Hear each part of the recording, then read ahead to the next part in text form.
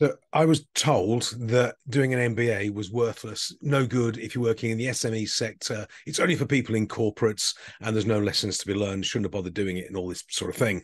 Uh, and this, you'll get told this, but normally by people who haven't done one themselves. So I thought I'm going to give you a little bit of a uh, an example of type of things. Now, on the MBA program, you do learn learn lots of of technical things, accounts and finance and things like that. Yeah, absolutely. And they need updating and they evolve over time.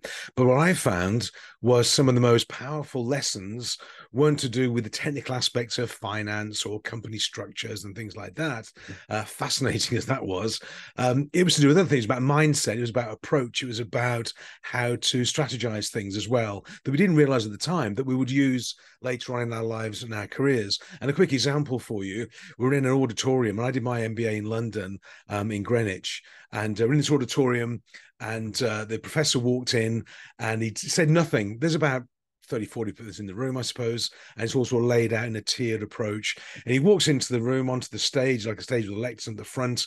And he had um, a beer glass, a pint glass, a big chunky beer glass in his hand.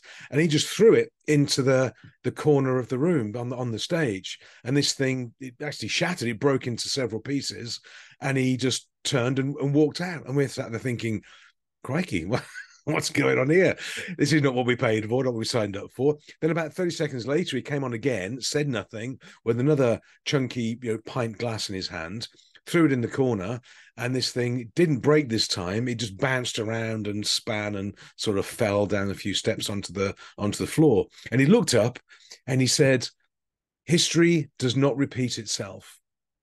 I was like, crikey. Now, what he meant by that, and that was a sort of start of his uh, lecture, his presentation, was that just because we do something that other people have done in the past, the same strategy and tactics and timing and approach, doesn't mean we're going to get the same outcomes and the same results. We need to adapt. We need to change to the new reality, new technology, new situation, or the new market. So don't just copy what other people have done. Is you know think afresh. History doesn't repeat itself because situations change and the environment's changed, the market's changed, and this is one of the challenges I, I see on social media and everywhere where people say here's a successful person uh, do what they've done do exactly what they've done as a as a copy as a strategy and you'll get the same results. No you won't. You have to use the principles of what they've done maybe and the approach but you can't just do what somebody else has done exactly and expect to get the same results because history does not repeat itself. We have to adjust and adapt. So these are the type of things I found sort of fascinating as an engineer to have this mindset approach to things. Um, but that's what we learned. There's lots of lessons like this. I did a blog the other day on another very similar one with a dog, and I'll do another video on that later on.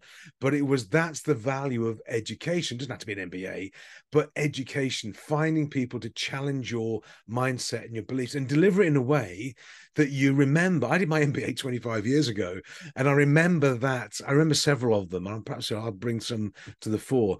But it's how it's delivered. I remember that smashing the glass, not smashing the glass. History doesn't repeat itself, and that's cropped up in my career, in my life, my businesses over the years.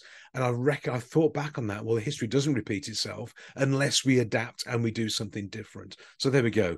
A lesson from a 25 year old MBA class. Anyway, I hope that was a bit of fun, bit of interest for you. It's really hot here in the Moselle, 32 degrees, blue sky, sunshine. It's fabulous. Tell on the warm side for me. Have a great day wherever you are. Stay safe, stay stay out of the heat, and uh, more updates to come. In the meantime, have a great week. See you soon. Bye for now.